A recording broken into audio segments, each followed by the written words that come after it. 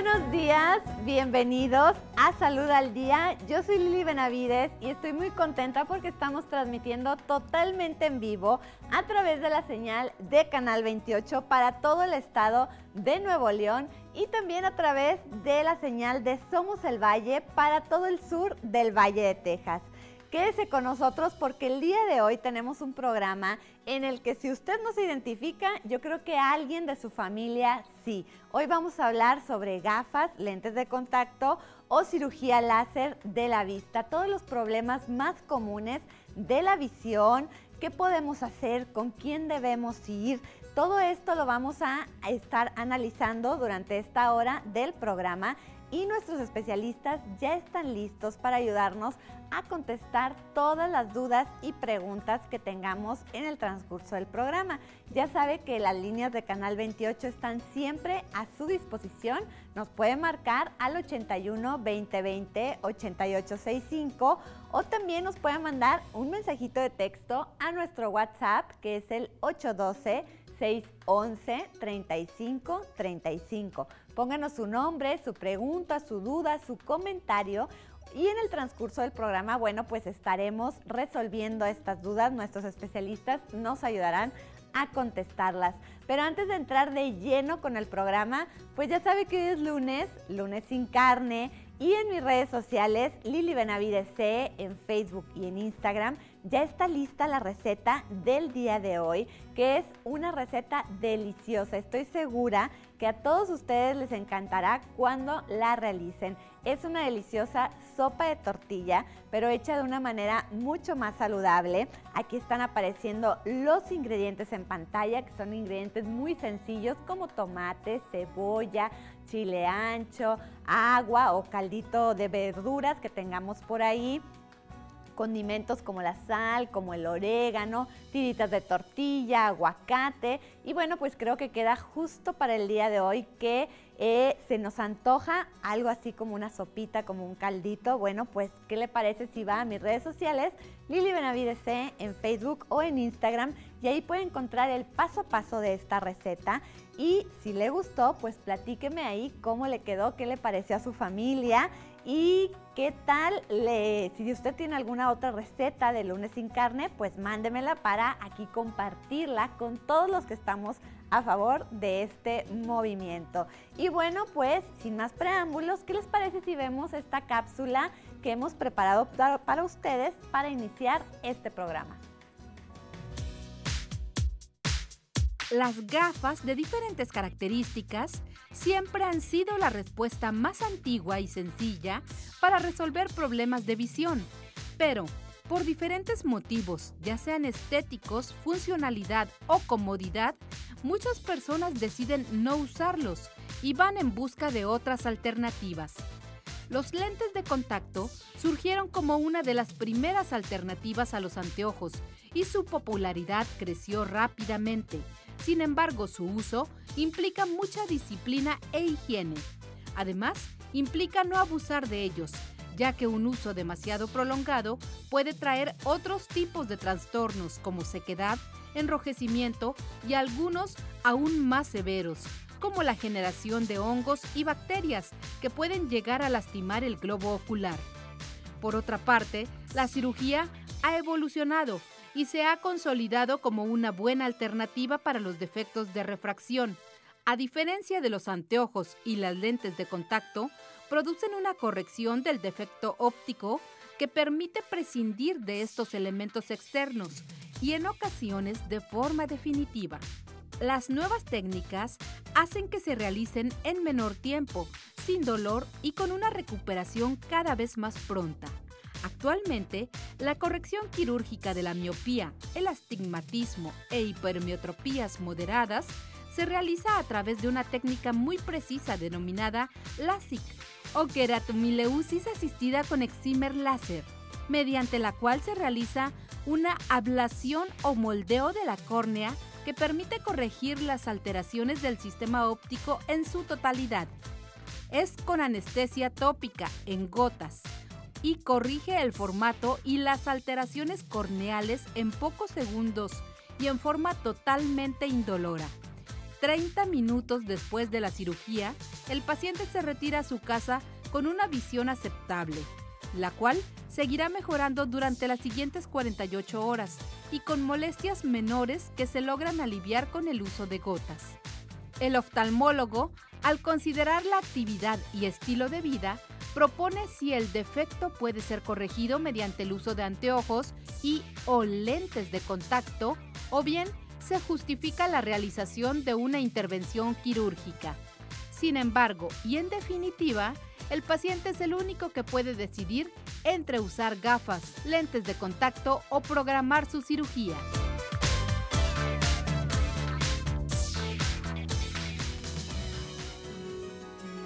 Bueno, pues, ¿qué le parece todo lo que estuvimos viendo en la cápsula? Y bueno, pues este es un tema que, como le decía en un inicio, yo creo que todos estamos familiarizados con él. Si es que ustedes no utilizan gafas o lentes o tienen algún problema de la vista, como su servidora, pero toda mi familia, mis hermanos, mis papás, todos utilizan eh, lentes, anteojos desde muy temprana edad y bueno, pues este es algo que eh, es muy bueno conocer y que hoy, el día de hoy vamos a aprender y por eso vamos a hablar sobre esta salud ocular. Y si usted tiene dudas, le repito que están a nuestra disposición y a su disposición las líneas de Canal 28 81 2020 8865 por si tiene alguna duda y que le quiera hacer alguna pregunta a nuestros especialistas que aquí ya, ya, me acompañan y voy a tener el gusto de presentárselos. Primero les voy a presentar a la, a la doctora Carla Chancón, quien ella es oftalmóloga,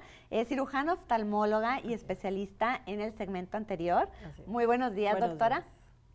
Y también les voy a presentar eh, al doctor Adolfo René Morales González, también quien es oftalmólogo, especialista en glaucoma y también en el segmento anterior. Muy buenos días, doctor. Buenos días. Eh, gracias por acompañarnos y bueno, quisiera primero empezar este tema preguntándoles eh, por qué creen que es importante hablar, hablar sobre la salud ocular.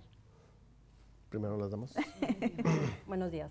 Este, pues es importante hablar sobre la salud ocular porque eh, hay que saber que hay ciertas enfermedades que a veces no sabemos que las tenemos, no nomás del ojo, ¿verdad? En general, pero bueno, eh, que no sabemos que las padecemos hasta que vamos a consultar con alguien, con un especialista o a veces con un médico general que hace la detección y ya lo hace la referencia.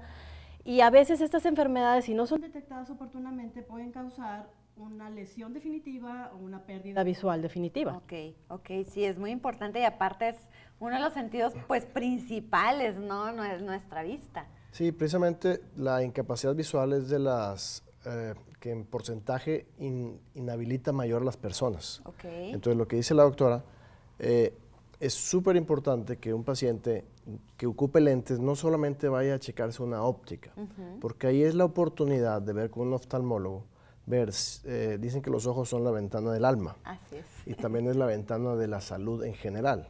Hay muchas enfermedades que se pueden detectar en una revisión oftalmológica, cosa que no la haces cuando vas a verte unos lentes. Claro, claro, y eso es algo bien importante, doctor, y me gustaría que, que lo tomáramos en cuenta porque es muy cierto, es, es, muy común que vayamos, por ejemplo, a un centro comercial el domingo, a una plaza, y en estos negocios eh, donde dice eh, de negocios como de ópticas y demás, bueno, casi siempre vemos algún letrero donde dice examen de la vista o consulta gratis o demás. Entonces, eh, ¿a dónde nos recomiendan ir como principal o primera pregunta de, de, si nosotros tenemos alguna, alguna duda o estamos como teniendo alguna falla en nuestra visión o detectamos algo que no teníamos?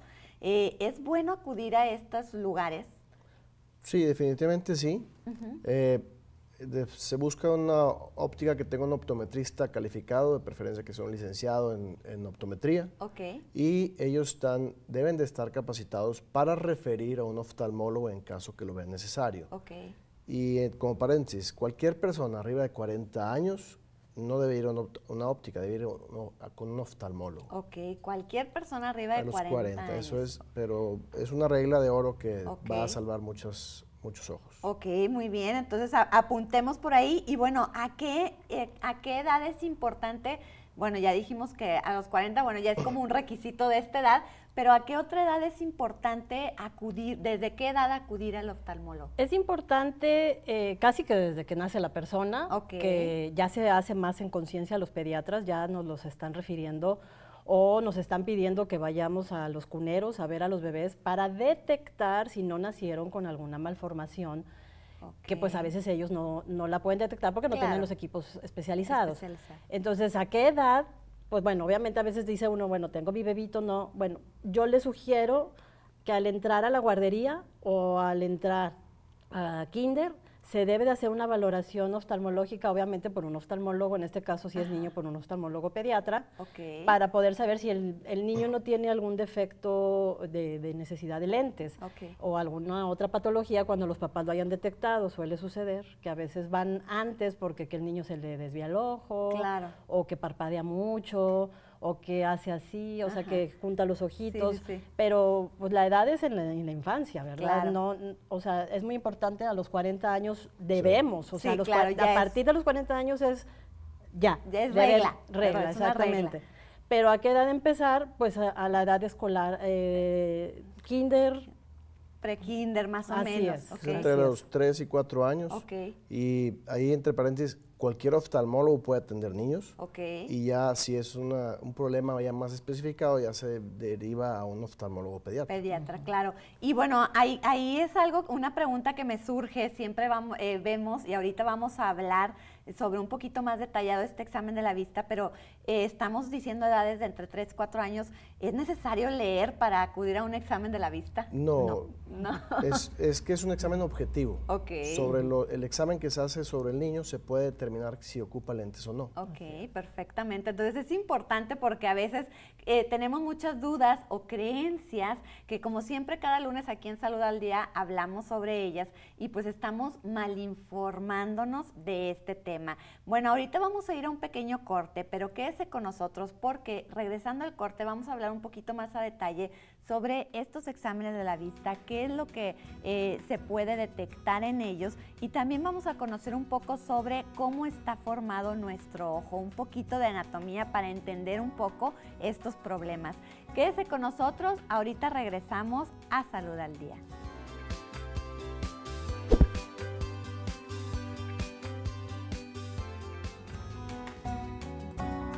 Y bueno, pues el Lili Tip que les tengo el día de hoy es uno de los ingredientes de la receta que tuvimos de lunes sin carne, que es el tomate, que bueno, pues ya sabemos que contiene muy poquitas calorías, 100 gramos, proporciona solo 18 calorías, ya que la mayor parte de su peso, un 95%, corresponde al agua. Su sabor agridulce es debido a una pequeña cantidad de azúcares simples y algunos ácidos orgánicos como el cítrico y el málico.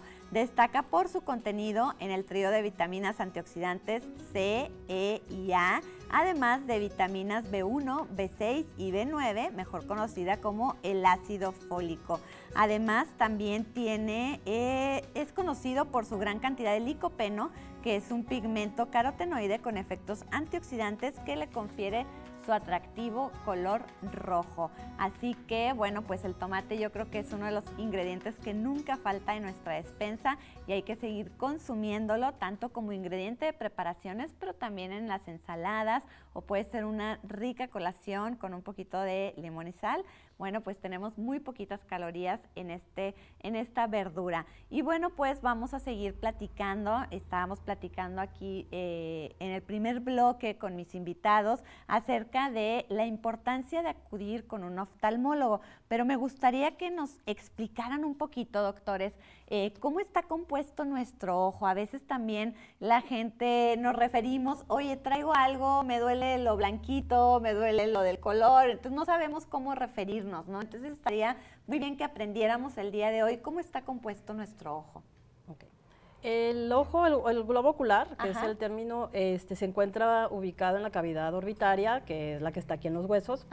Está cubierto por, externamente por los párpados, tanto superior como inferior, las pestañas, y luego ya empezamos hacia adentro. La anatomía del globo ocular en sí está córnea, que es la parte delantera como transparente. Yo le digo a mis pacientes como la parte de un reloj transparente. Claro, que estamos viendo ahí en la pantalla. Así es, vemos la, córnea. Ajá. Atrás de la córnea está un espacio lleno de líquido que es el humor acuoso, que se le llama cámara anterior. Ajá. Después sigue la pupila o el iris, ¿verdad? Porque la gente pues lo conoce más como lo de color, ¿verdad? Y ahí es donde está el iris, se llama, y pues ahí está la pupila, ¿verdad? Obviamente.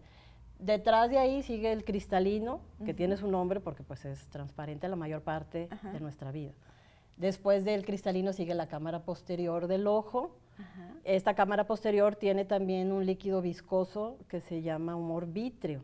Okay. Y después, bueno, conformado hasta el fondo está la retina, que son varias capas. la retina y nervio óptico. Okay. Por fuera, lo que, lo, lo que cubre el humor vítreo se llama esclera, que es lo blanquito. Que lo blanquito. Lo que la gente dice lo blanquito. Y eso está cubierto o revestido por la conjuntiva, que es el pellejito que le dice la gente. y es donde se forman los terigiones que la gente conoce comúnmente como carnosidades. Esto, bueno, en general así es como está conformada la, anatomía del ojo. Del ojo, ok. Y bueno, en este, ya conociendo cómo está ahí, eh, nuestro ojo y todas las partes, que muy bien nos las explicó la doctora Carla, eh, se puede considerar eh, que todos eh, los padecimientos más comunes, mucha gente tenemos ya en nuestro vocabulario algunas eh, palabras como miopía, como astigmatismo, muy comúnmente, pero ¿se pueden considerar como enfermedades, como padecimientos? Pues no, no como enfermedades, más que nada es un defecto refractivo. Ok. O sea, un ojo que no tiene graduación es un ojo hemétrope y ese está en cero. Entonces, de ahí, ahí partimos hacia la hipermetropía, la miopía o hacia el astigmatismo. Y de ahí es cómo se corrige. De lo muy importante que decía la doctora, la detección de un niño que tenga una hipermetropía de ciertos grados, a los 3, 4 años probablemente no ocupe lentes. Pero un niño que tenga una miopía a esa edad sí va a ocupar lentes.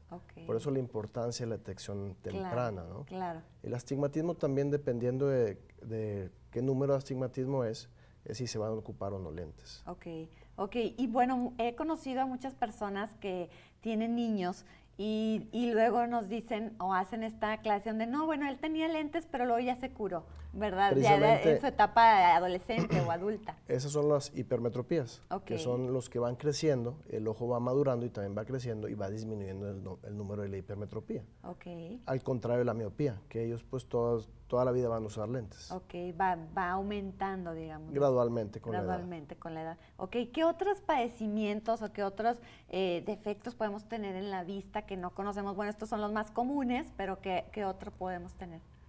Pues vamos a hablar de los defectos refractivos, es lo más común.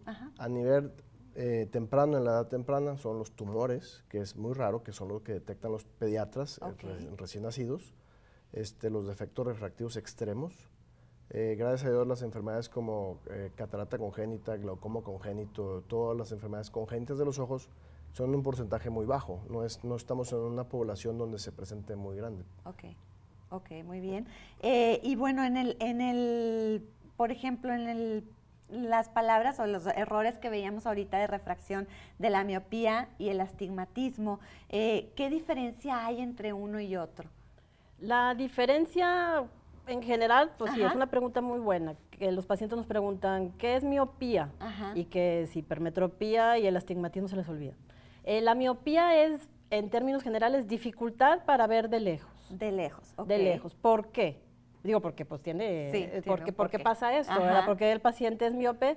Eh, aquí es porque la imagen al entrar a través de los medios transparentes del ojo, que ya los mencionamos, la imagen debe de caer normalmente en la retina, en el área de la mácula, que son los conos y bastones, debe de caer ahí. Cuando el paciente es miope, cae ligeramente la imagen adelante, una forma de decir caer, pero se, refleja ahí. Puede ser por muchas causas, también puede ser a veces porque el ojo es ligeramente más grande que el normal. Entonces se necesita un anteojo para hacer que la imagen caiga donde debe de caer. Y el hipermétrope que es lo contrario, por así decirlo, el paciente no ve, eh, depende de la graduación, no ve a veces ni de lejos ni de cerca, pero principalmente el hipermétrope es el que le dicen la vista cansada. Ah, ok. Sí, sí, sí. es muy común escuchar ese término. Yo uso lentes porque tengo vista cansada. Así dicen eh, gente joven o gente antes de los 40 años. Este, y ese es hipermétrope es porque la imagen cae por detrás de la retina, o sea, se proyecta más atrás, entonces hay que usar un lente para adelantarlo y que lo ponga exactamente en el área visual, que debe de ser. Y el astigmatismo está dado por la curvatura principalmente, digo, también hay astigmatismo de lente, este, por la curvatura corneal. Y en general ese se mide en grados, por eso de repente en las recetas de lentes traen un numerito y un grado. Los pacientes preguntan, bueno, ¿y eso qué es? Es porque si vemos la córnea como un transportador, eh, recordando las, en la primaria, se mide en grados de 0 a 180 grados y depende en el grado donde, cae, donde está un poquito más traccionada la, córnea o más diversificada, es el, eje que le llamamos y por eso tiene esa medida, que debe de ser exacta, porque si no se corrige también como debe de ser, pues no le van a servir los anteojos. Ok, muy bien. Y están combinados, o sea, puede haber miopía y astigmatismo y también puede haber hipermetropía y astigmatismo. O puro astigmatismo o pura miopía o pura hipermetropía. Sí, eso es bien importante aclarar porque es cierto, a veces eh, hay personas, oye, yo tengo en un ojo miopía, en otro astigmatismo y tanto de uno y tanto del otro, ¿no? Entonces es importante conocerlo. Doctor, también le quisiera preguntar, antes de pasar al, al examen, eh, otro de los, de los padecimientos muy, muy importantes aquí en México es el glaucoma, en el que también usted se especializa. Sí, claro, es glaucoma, catarata y retinopatía diabética. Esas, son las tres, las tres principales causas de ceguera en el mundo y en México también. claro. Entonces ahí es donde es muy importante el examen de la vista, porque se puede detectar si hay un inicio de glaucoma, un inicio de catarata o un inicio de retinopatía diabética, que sería lo ideal. Todos queremos que llegue un paciente con una enfermedad inicial. no con la enfermedad al final. Exacto, y como siempre decimos aquí en Salud al Día cada lunes, pues entre más temprano sea esta detección, vamos a tener un mejor pronóstico y además un, un mejor tratamiento. Sí, siempre la medicina preventiva va a ser mucho más barata en todos los aspectos. Todos los aspectos, claro. Claro, y bueno, ahorita mencionó este examen de la vista, que como les hacía la pregunta en el bloque 1 acerca de si teníamos que saber leer para hacer este examen, porque como que lo tenemos muy, debemos este letrerito en los, en los negocios, en las ópticas, pero ¿qué más incluye un examen de la vista, pues más bien especializado por ustedes? Principalmente va a ser el, examen de la agudeza visual. Eso quiere decir que sin lentes, ¿cuánto puedes ver? ¿Cuánto es la capacidad de visión de tu ojo sin anteojos? Y luego se hace el examen eh, retinoscópico que te va a sacar la graduación, que tienes una menos 2 de miopía con menos 1 de astigmatismo y con eso ves al 100%. Okay. Y en, la misma, en la misma cita se van a evaluar la presión intraocular. Normalmente la presión intraocular es ya en pacientes de 18 años para arriba. En los niños generalmente no es lo más común. Al menos que haya datos que, se, que te hagan sospechar de algún problema, se toma la presión intraocular en un niño. Entonces nos vamos de, como mencionó la doctora, la anatomía del ojo. La exploración oftalmológica es agudeza visual, presión intraocular y de los párpados de adelante hacia atrás. Se evalúan los párpados, las pestañas, la película lagrimal, porque hay un padecimiento muy común también, que no es tan grave, pero sí es muy incómodo de ojo seco. Que eso les afecta a la gran mayoría que están enfrente de una computadora. Ok, sí. Entonces se evalúa la superficie ocular, la integridad de la córnea, que la córnea tiene que ser transparente, porque hay muchas enfermedades de la córnea que la pueden hacer que no sea transparente. Lo que después que decía la doctora, el, el humor acuoso, o sea, la cámara anterior, que debe estar es como el líquido cefalorraquídeo, el líquido que tenemos en el cerebro, que se le llama agua de roca. Es como de un manantial que está completamente transparente. Si hay alguna anormalidad en ese líquido transparente, pues indica una enfermedad. Y lo vamos hacia el, iris o a la niña del ojo, donde se ve el color del iris, también debe, debe estar libre de problemas. Nos vamos al cristalino, que es donde se puede presentar una catarata, ya sea temprana o depende de la edad del paciente y ya al humor vítreo y hacia la retina. Entonces, de esa forma vamos viendo, evaluando y descartando enfermedades. Ok, qué interesante porque el, realmente estamos viendo que el examen es muy complejo y muy completo y no nada más leer a lo mejor, ¿verdad? O saber eh, nuestra agudeza visual, sino realmente qué más tenemos. Vamos a ir a un pequeño corte aquí en Salud al Día y ahorita regresamos para seguir hablando sobre nuestra salud ocular. Quédese con nosotros, en un momentito regresamos.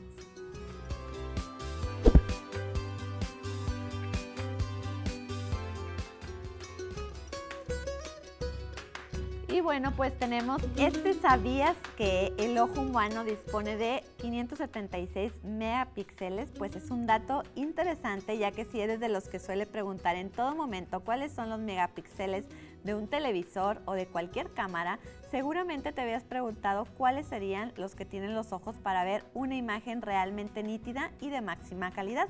Se ha determinado que el ojo humano dispone de 576 megapíxeles y es un sistema tan definido que supera cualquier equipo de imagen con tecnología actualizada y que le da mejor perspectiva sobre todo en quienes no tienen defectos que alteran la nitidez. Así que un dato muy interesante y por lo que estuve leyendo todavía no hay ningún aparato tecnológico que se asemeje a nuestro ojo y bueno, pues esto es algo que debemos de valorar bastante, ¿no? Y hablábamos ahorita, doctor, sobre esta prevención de detectar a tiempo todos estos problemas en estos exámenes que son tan especializados por ustedes, que son los profesionales en, en, este, en esta materia y que podemos detectar a tiempo el, perder la visión. ¿no? Sí, claro. Eh, con un examen oftalmológico se pueden detectar, como platicamos, las enfermedades y es mucho mejor detectarlo 10 años antes que 10 años después. Exacto. Sí, porque existe el paciente que llega porque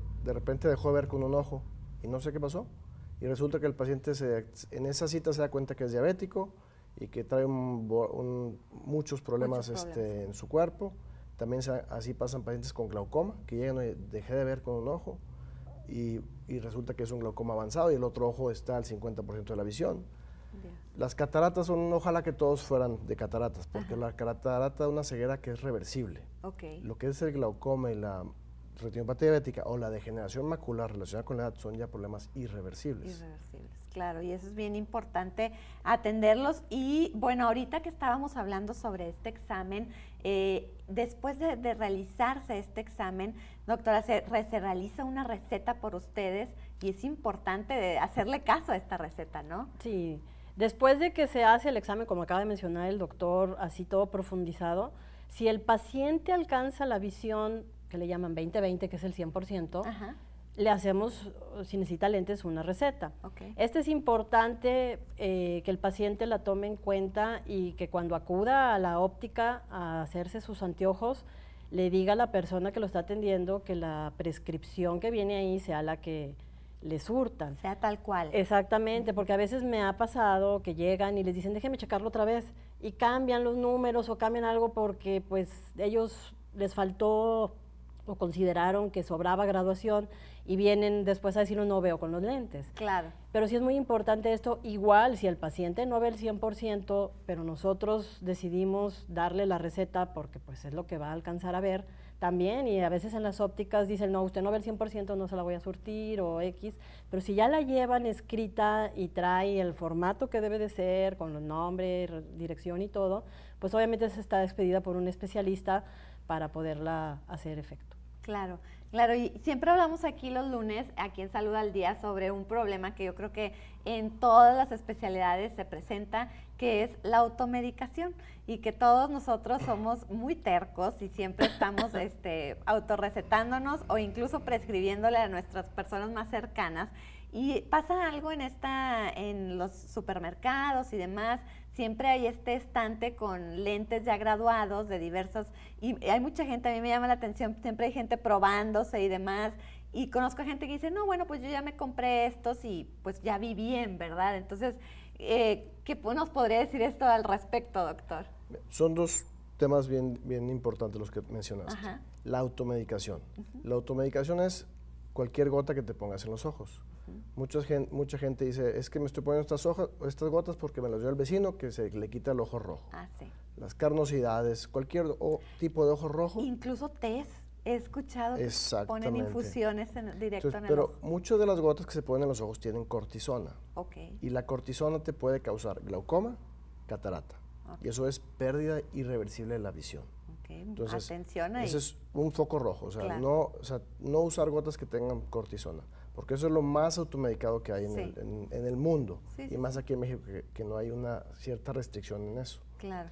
Y el otro tema que me decías de los lentes que venden en los mercados son los lentes de la vista cansada. Que generalmente son personas arriba de 40 años que batallan para ver de cerca. Entonces, alguien que no tenga ninguna enfermedad, que ya se hizo una, una evaluación oftalmológica, están libres de usar esos tipos de lentes. Okay. El que no está libre de usar ese tipo de lentes es el que no se ha revisado. El que no se ha revisado, exacto. Ese es un buen, un buen punto. Y bueno, doctora, ¿cómo podemos diferenciar? Eh, a veces eh, ustedes nos dan la receta eh, y ya nos prescriben los anteojos, pero hay mucha gente, sobre todo la gente joven, que a veces dice, oye, es que yo quiero mejor los lentes de contacto. ¿Qué diferencias hay? ¿Qué podemos, qué nos puede decir al respecto? Sí.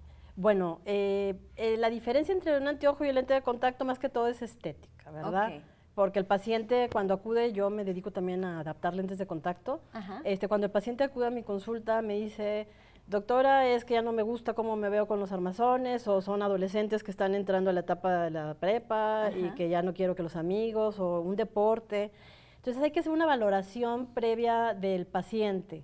¿Qué es lo que se debe valorar para saber si el paciente puede usar un lente de contacto? Primero es eh, la responsabilidad que él ya tiene en su, vida. ¿Por qué? Porque usar un lente de contacto es, es un arma de doble filo, o sea, es muy, eh, se tiene que tener mucha higiene, tenemos que tener muchos cuidados, no abusar del uso del lente de contacto, porque si llegara a haber alguna infección, de las más graves y más serias son por lentes de contacto. Entonces sí le debemos de comentar esto a los pacientes cuando van a iniciar o quieren aprender a, usar un lente de contacto, decirle todas las reglas o todos los pasos que debemos de seguir como todo para poder ser un buen usuario de lente de contacto. Obviamente también tenemos que medir en la actualidad, como menciona el doctor, que usan mucho las computadoras, ya porque es parte de nuestra vida, eh, la cantidad de lágrima, la calidad de la lágrima, porque va a venir un ojo seco por usar un lente de contacto. El usuario de lente de contacto va a tener una resequedad ocular porque tiene un cuerpo extraño, aunque está hecho para estar dentro del ojo, digo no dentro, sino en la superficie ocular, este, es un cuerpo extraño. Entonces sí debemos de, aparte de tener limpieza, de manejarlo con cuidado, de, sobre todo los lentes blandos que deben de estar en soluciones, de no dormir con ellos, de no nadar con ellos, este, debemos de tener también humectado el ojo para que no vayamos a tener un problema. Y muy importante lo que comentó, porque siempre conocemos a alguien que pues se quedó dormido con los lentes de contacto o que los usa más de todo el día, se quedó desde las 8 de la mañana y fue a una fiesta y se desveló y tiene más de 20 horas con el, con el lente de contacto puesto. Eso es muy importante. A mí cuando me llegan eh, los papás con los niños, porque a veces son niños de primaria que ya quieren usar lentes de contacto y me preguntan, doctora, lo traigo para ver si ya puede usar lentes de contacto. Lo primero que le pregunto a la mamá es, o al papá, es, ¿responsable? ¿Sigue indicaciones? Porque esto es así, o sea, hay que seguir el patrón, o sea, hay que lavarse las manos, hay que ponerse lente, hay que... Entonces, si el niño me dice la mamá no es responsable, pues no, no está en una edad adecuada para usar un lente de contacto. Para usar un lente de contacto, eso es muy importante. Ahora, en tanto en los lentes de contacto como en los anteojos, eh, ¿la graduación va cambiando? Sí, eh, va cambiando como platicamos de la hipermetropía, la miopía y dependiendo de la edad, a qué 40, 50, ya se usa otro tipo de lentes, que son los multifocales, los progresivos o los bifocales, que es otro tema de adaptación, que es el eh, eh, típico paciente que me dice, me dicen unos progresivos, unos bifocales y veo pozos. Sí. Lo que pasa es que le vendieron los lentes, pero no le enseñaron a usarlos.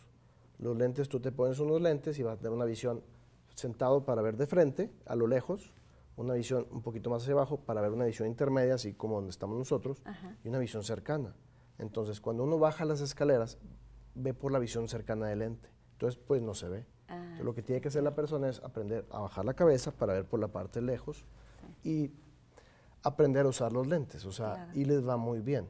Pero siempre y cuando estén instruidos.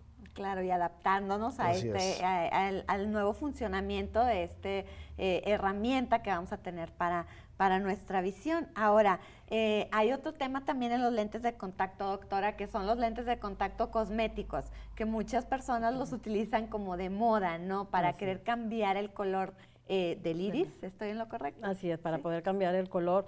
Esto es importante también comentarlo eh, que me ha tocado casos en los que van las pacientes y me dicen, es que me dieron los lentes de contacto cuando me hice el corte de cabello. digo, para que cambie todo. Sí, claro. Pero obviamente no es una óptica donde fueron a cortarse el cabello. Entonces le digo, pues está muy mal porque no sabemos la calidad, porque pues en eso hay varios tipos de lentes de contacto. Entonces, si se va a usar un lente cosmético, también se debe de ir con un profesional en adaptar lentes de contacto eh, sea óptica o sea el oftalmólogo de preferencia, porque sí también tenemos que ver las marcas, porque hay marcas que no vienen con la garantía ni con los sellos de seguridad, digo, porque esto pues, tiene un control de calidad el lente de contacto, viene cerrado, con líquido, estéril, trae fecha de caducidad. Entonces, si alguno de estos sellos está alterado o no se cumple porque pues no está sellado, pues podemos poner en riesgo nuestra salud del ojo, porque al ponerme yo algo en el ojo, lo voy a traer, como dice, este, 8 horas, 20 horas. A veces dormimos todo el mes. Hay gente que me toca que usa el lente de contacto todo el mes, no descansa y puede tener una infección o una afección en la córnea muy seria que no es reversible en muchas ocasiones. Claro, claro. Y comentó algo bien importante que yo desconocía que tienen fecha de caducidad. Sí, Entonces también eso es, eso es importante este, tenerlo en cuenta y tomarlo en cuenta para que nosotros pues estemos eh, cuidando nuestra salud del ojo. Vamos a ir a una pequeña pausa aquí en Salud al Día y ahorita eh, que regresemos vamos a platicar un poco sobre la cirugía láser o la cirugía de la vista para ver si somos candidatos o no, quién se la puede hacer. Si tiene alguna duda o alguna pregunta, ya sabe que nos puede marcar al 81 2020 8865 o mandarnos un mensaje de texto a nuestro WhatsApp que es el 812 611 3535. En un momentito regresamos a Salud al Día.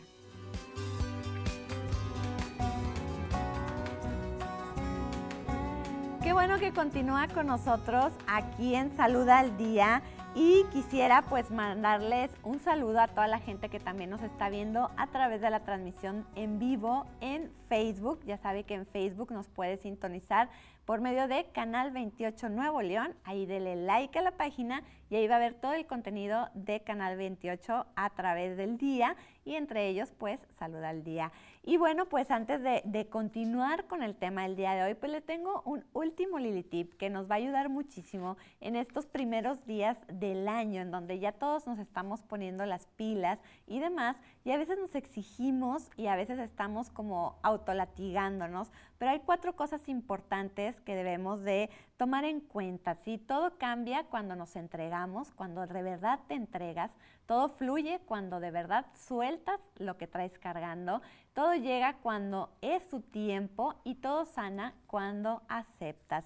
Así que tómenlo en cuenta y bueno, a través de eh, estas, estos cuatro cosas importantes o cuatro decretos que debemos de tener en nuestro día, también es importante estar eh, aceptando cuando tenemos algún padecimiento, cuando tenemos alguna enfermedad y con ello, bueno, pues tomar en cuenta eh, las indicaciones y todo el proceso para vivir esta enfermedad de lo que hemos hablado aquí el, cada lunes en Salud al Día. Y bueno, seguíamos platicando aquí acerca eh, un poco sobre la cirugía, que es otro método también, que desde hace ya varios tiempo ya estamos muy familiarizados con la cirugía láser. Eh, ¿En qué consiste, doctor, en términos generales? En términos generales, lo que la cirugía refractiva es, es eh, modificar la superficie de la córnea para que la imagen se pueda enfocar en la retina. Okay. Es como, como si fuera un torno. Se modifica la superficie, se evapora con un láser especial para poder hacer que puedas ver mejor. Ok, muy bien. Ahora, ¿todos todos somos candidatos a esta cirugía láser? No, eso es bien importante, porque tanto depende qué es lo que tienes, si es miopía, hipermetropía, astigmatismo, el porcentaje de éxito es muy diferente. ¿sí? Eh, el principal factor para ver si es candidato es la curvatura de la córnea y el grosor corneal. Como te digo, es una ablación la que se va a hacer. Hoy en día hay varias técnicas diferentes, todas o sea, rondean en la misma, la misma función de modificar la curvatura de la córnea, porque luego si ahondamos en, la, en cada técnica nos vamos a tardar unos tres programas. Sí, claro. Entonces, al final de cuentas, lo que se busca es modificar la superficie de la córnea para que puedas tener una mejor calidad de visión. Y eso depende mucho de con qué máquina se haga y todo eso. Ok. Este, hay que escoger muy bien al paciente desde el color de los ojos, de qué tamaño es su pupila, qué, a qué se dedica, cuáles son las expectativas visuales, Generalmente la cirugía se ofrece para quitar la dependencia de los lentes, porque probablemente en algún momento de la vida vas a volver a usar lentes. Sí, claro. Pero no es lo mismo que tú tengas menos 6, menos 8, menos 9, a que te operes y que después uses unos lentes de menos 0,75. O sea, les cambia la vida completamente. Exacto, y es algo que ahorita en el corte les comentaba en, el caso de, de, una de mis hermanas, mi hermana Sara, que ella utilizaba eh, es aquellos lentes que les decían de fondo de botella, que eran muy, muy gruesos. Eh, y bueno, ya se operó yo creo que hace 10 o 12 años y quedó muy bien, pero ahorita, bueno, ya vuelve a utilizar estos lentes. Obviamente son muy, muy pequeños, este, muy delgaditos, pero también puede darse esto y no quiere decir que no haya funcionado. Así es, doctor. Así es. Este, normalmente al paciente, como dijo el doctor, hay que hacerle la valoración previa para ver qué tanta graduación tiene. En la actualidad, pues el defecto refractivo se corrige pues al 100, ¿verdad? O sea, se le ponen los datos al, equipo y todo y es el objetivo. Claro. A veces por la cantidad de graduación que dice el doctor, 8 puntos, pues sí, a lo mejor en, en un, mientras cicatriza y todo, regresa algo de graduación, y hay que volver a usar unos lentes en unos años, pero no es que la cirugía tenga una fecha de caducidad, porque a mí me llegan pacientes y me dicen, eh, a mí mi hermano lo operaron y le duró cuatro años y ya está usando lentes, y yo, ¿y qué edad tiene su hermano? No, pues tiene 43 y se operó a los 36, le digo, ¿y los lentes que está usando? Ah, son de lectura, bueno, le digo, eso es otra cosa. Claro, claro. Le, dije, la, le digo, en teoría la cirugía refractiva se hace, en teoría, eh, para corregir defectos visuales de lejos. También se pueden hacer para corregir presbicia, también, este, pero ahí es más selectivo el grupo y hay que, ese es otro tema. Que ahí estamos viendo una imagen en pantalla de, Así es. me imagino que ese es el, el láser, El láser, eh, ahí es la técnica, o sea, el, que se llama LASIK. Okay. La técnica LASIK consiste, vemos ahí como si estuviera abierta una tapita, sí. bueno, para términos generales, es un corte que se hace en la actualidad se puede hacer tanto manual con un microqueratomo o existe el femtosegundo, que es otro láser que hace el corte, o sea, es lo más nuevo. Hacer el corte por medio del láser, como mencionó el doctor, con eh, la energía hace una evaporación en el tejido corneal y funge como corte y se hace como una bisagra. Esto es, no se hace un corte total, completo de la córnea y se quita y se hace y luego se vuelve, no se hace parcial, se deja una bisagra, por lo general en la parte superior, un espesor, las medidas depende del equipo que estemos trabajando y de la córnea del, paciente, y ese se levanta esa hojita o esa bisagra que se llama flap corneal y entonces se hace el láser. Ahí, está, ahí estamos viendo que la capa se gira hacia arriba, o bueno, viéndolo ahí es hacia un lado, ¿verdad? Pero el cirujano está en la parte de arriba. Entonces se levanta y queda eh, la parte de abajo de la córnea que se llama estroma o lecho corneal, y ahí es donde el láser va a actuar para hacer el moldeamiento que el doctor refería. Okay, este, y al hacer este moldeamiento es por medio de la energía del láser, eh, se tiene ya los cálculos, por eso se debe hacer una valoración del paciente para que el equipo podamos meter toda esa información y ya el equipo lo tiene calculado.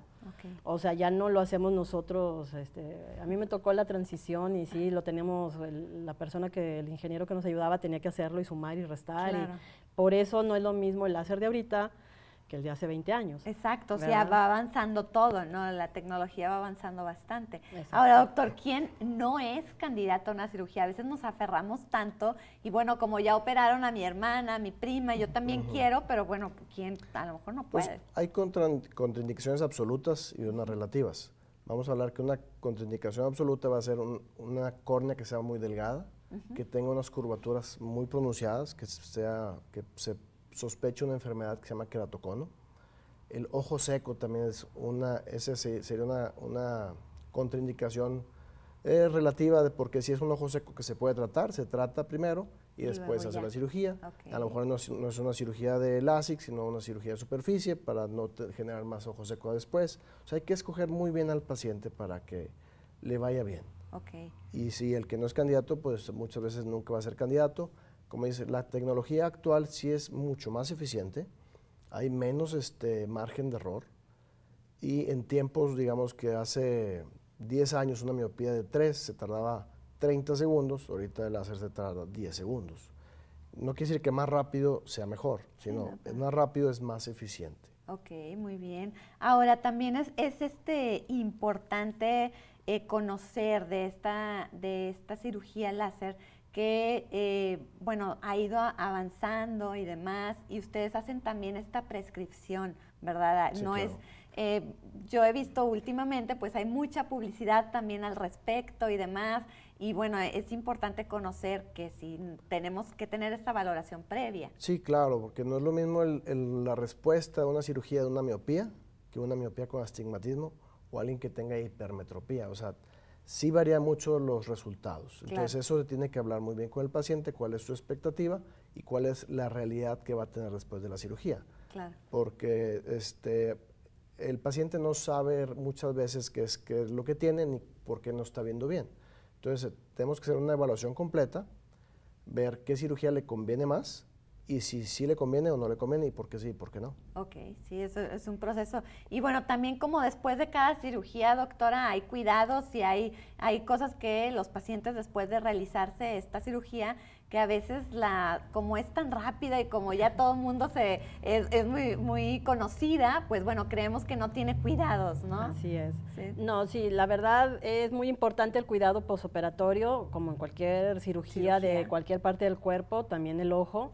Y la cirugía LASIK se abusa un poquito de esto porque como el paciente ve casi inmediatamente, digo casi inmediatamente porque pues hay un proceso inflamatorio que tienen por unas horas visión borrosa y luego ya se aclara y el paciente en el mismo día está viendo y en la mañana amaneció sin ver. Entonces, para él es mucha alegría, mucha y no duele, eh, la mayoría de las veces no arde. Entonces, no sigue las indicaciones. Es importante esto, ¿verdad? Las indicaciones posquirúrgicas eh, aparte de darle un antiinflamatorio, un antibiótico profiláctico que se debe de, hacer siempre, el de no tallarse sus ojos, se les salen con unos protectores oculares que se van a usar ese día y luego al día siguiente un lente solar.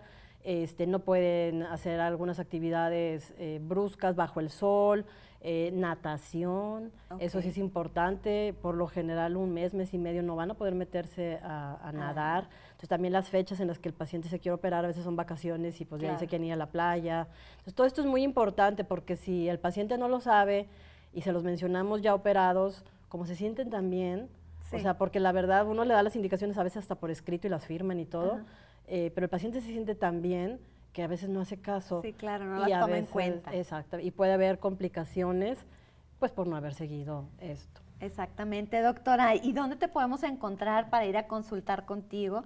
Yo estoy en el Centro Médico de la Mujer, este que está sobre la Avenida Hidalgo, en el tercer piso, consultorio 303. Okay. es el que está al lado de Ginequito, que, normalmente así es como se conoce. Perfecto. Y doctor, ¿en dónde lo podemos encontrar usted? Bueno, estamos aquí en el Centro Médico del Hospital de San José. Estamos en Plaza Arboleda, en Parque Arboleda. Y eh, para los amigos del Valle de Texas, en Reynosa, tenemos un, consultorio allá.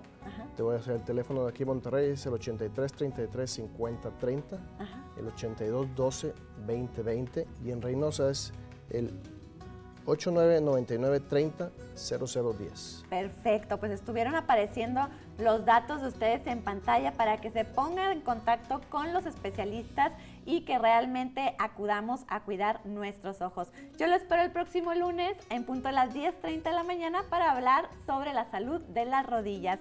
Yo soy Lili Benavides y recuerde que nunca es tarde para cambiar su estilo de vida. Hasta pronto.